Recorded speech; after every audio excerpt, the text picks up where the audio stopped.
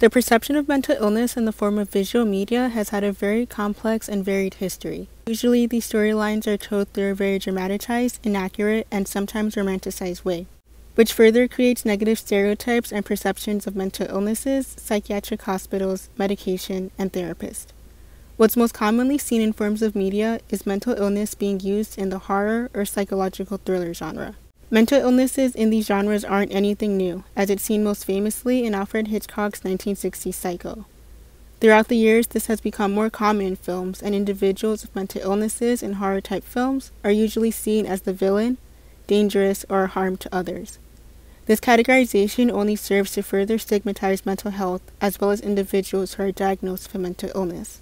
Most of the time, the symptoms of mental illnesses are exaggerated for a film, which can further confuse the general public, especially if they are only made aware of certain mental illnesses through visual mediums and have no connection with an actual person who has a mental illness.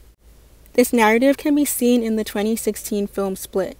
Before Split was released, there were already articles that discussed the fact that dissociative identity disorder, or DID, was being misrepresented in this film. DID is a disorder in which an individual has at least two distinct personality identities. In Split, Kevin, played by James McAvoy, is diagnosed with DID, and off the bat is already labeled as someone who is dangerous. In the beginning of the film, Kevin attacks and kidnaps a group of teenage girls, who he then keeps hidden in an underground cell. The film does accurately state that DID can be caused from childhood trauma, which is a point that Kevin discusses with his therapist but the movie exaggerates the extent to which an individual with DID will display their alters by displaying one of Kevin's alters as a subhuman character. In an article, Megan Benham states While some studies show that body chemistry can change of personalities, the need for glasses and changing candidness have been reported. Split takes this much further. Kevin crawls on walls, and the beast looms over the movie. The changing of the physical in Split represents McAvoy's character as monstrous, and coupled with his incredibly violent and dangerous actions, the film only increases stigma around mental illness. I found an article stating that M. Night Shyamalan was going to speak to a clinical psychologist, Bethany Brand, to learn more about DID. Shyamalan stated that he and Universal Pictures were interested in promoting information and support with those of DID and wanted to raise awareness for the disorder but did not keep with his promises. DID is already a rare disorder and one that is drastically misunderstood in the media and even the psychiatric field. The movie only further emphasized this perception and also portrayed an individual with DID as being dangerous and violent. Looking at 2019's Midsommar opening scene, it's revealed that Dani's sister, Terri, is bipolar and commits a murder suicide of herself and their parents. Since Terri is an off-screen character, little information is known about her, other than the fact that she's Dani's sister and has a mental illness. The addition of Terri being bipolar was mainly added as a shock value, and was a completely unnecessary and odd way to normalize Terri's behavior. Ari Aster might leave some viewers with the impression that people who are bipolar are extremely violent. The film also touches on Dani's struggles with anxiety, but Aster doesn't villainize Dani's mental health in the same vein as her sister. Most talked about and controversial movie that used this trope is last year's Joker. Now, I'm not someone who's super into comics, so I can only go off of the Joker performances that I've seen on the big screen. Taking a look into these iconic Joker performances, uh, not this one, but one thing that I noticed about Heath Ledger's performance is that yes, he was antisocial, but most movie villains are. It wasn't in any way expressed or even hinted that he was murdering citizens and committing destructive acts due to any mental illness. My problem with Joaquin Phoenix Joker is that it explicitly states that the Joker is committing these destructive acts because he has a mental illness. How about another joke, Murray? No, I think we've had enough of your jokes. What do you get? I don't think so. When you cross I think a we're mentally done ill loner jokes. with That's a it. society that abandons him and treats him like trash! One could say that the Joker was bound to snap, as he does not have social support, has had his mental health stigmatized, and no longer has access to a social worker or medication due to budget cuts. Although I understand the direction in which the movie was supposed to go, I don't agree with the way Todd Phillips went about explaining this message. Phillips ended up creating a disorganized, insensitive, and inaccurate portrayal of mental illness, as well as making a false connection between mental illness and violence. In an article, Callie Agram states, Every aspect of Fleck's neuroatypicality is stigmatized. coded as a reason to be suspicious of him and used as pretext for his descent into violence. The film even explains Joker's characteristic fits of laughter, historically seen as a symbol of his devilishness, of the delight he takes in cruelty, as the symptom of a condition. Here, it's an uncontrollable response to stress, similar to Tourette syndrome. Rather than effectively advocating for mental health resources, Joker plainly tells us to be wary of people who exhibit symptoms of mental illness. In our general media, there's a perception that those who are struggling with their mental health or are diagnosed with mental illness are at the forefront of those who commit violent and often deadly attacks. This can be seen in how news anchors and politicians report on mass shootings in America. One of the things we've learned from these shootings is that often underneath this is a diagnosis of mental illness.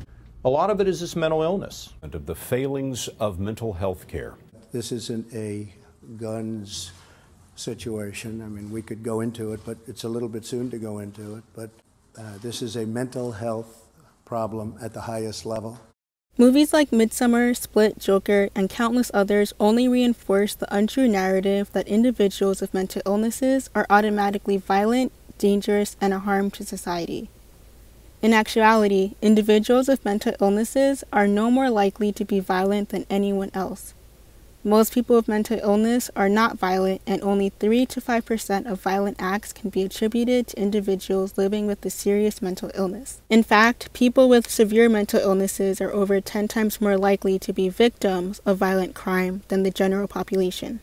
Some TV shows and films do a great job at displaying mental illnesses in an empathetic, realistic, and compassionate way, both in the psychological thriller genre and others.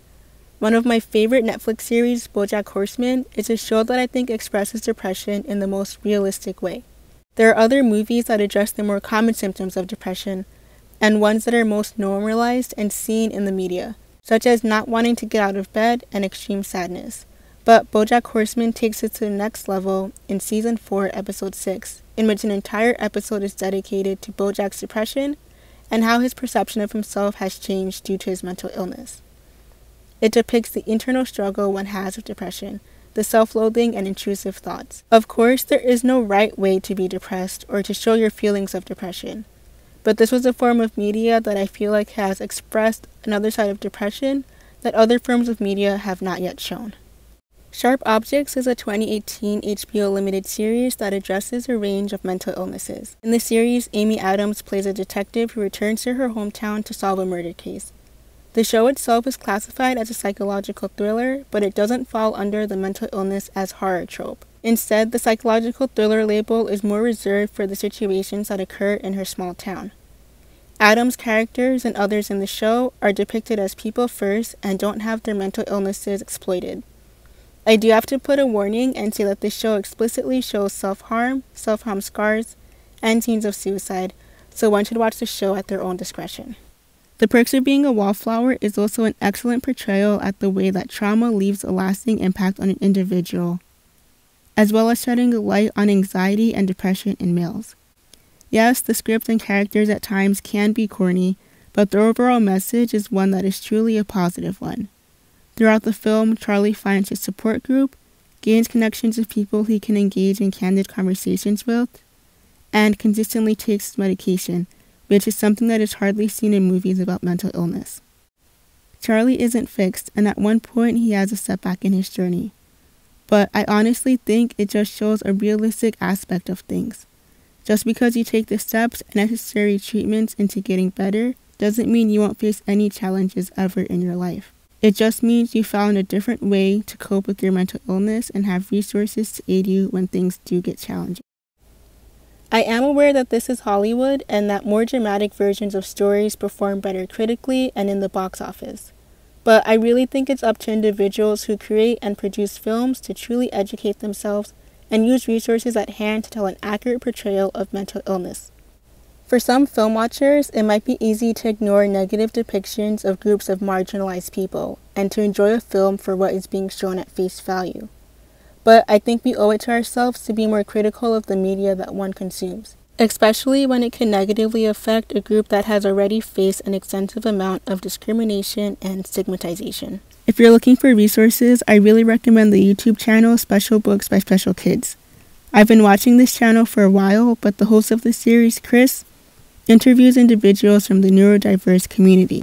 He has a playlist on his channel called Meet Someone with a Mental Health Disorder, where you can watch interviews from individuals who are diagnosed with different mental illnesses. My hope for the future is that the media takes the time to thoroughly research these mental illnesses and to portray them with the care, compassion, and empathy that is rightly deserved.